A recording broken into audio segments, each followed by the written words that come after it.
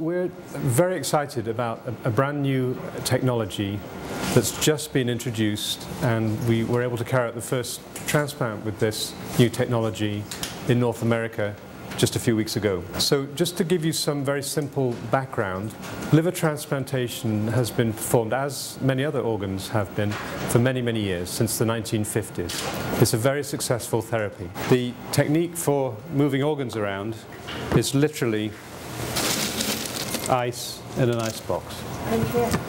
As a result of that, we put the organs in there, they cool down, their metabolic rate slows down, but they don't get any oxygen in the box, they can't function in the box, and it means that the longer they stay in the box, while they're being flown from city to city, the more injured the organs get, and therefore the more risk we put our recipients. What this machine does it's called the Organox Metra. It was designed by Professor Peter Friend and uh, Professor Coussios in uh, the University of Oxford and in, in, the United Kingdom and then subsequently developed by a, a small spin-off company from the University of, of, of Oxford called Organox.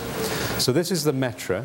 This is the machine we used on, on Mr. Siu, the first uh, uh, patient. So what this allows us to do is to keep the liver inside the machine completely oxygenated with all the nutrition that it needs and all the support. But what essentially it's doing is allowing the liver to function exactly as though it's inside the body.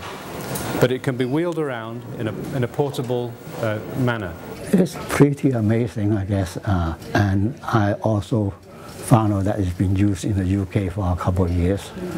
That gives us uh, a little bit more of confidence. It really didn't take us too long to decide. I think that uh, it's really a choice of waiting forever or since it's a new program, my chance on getting onto it might be higher. I was lucky in the sense that I got one.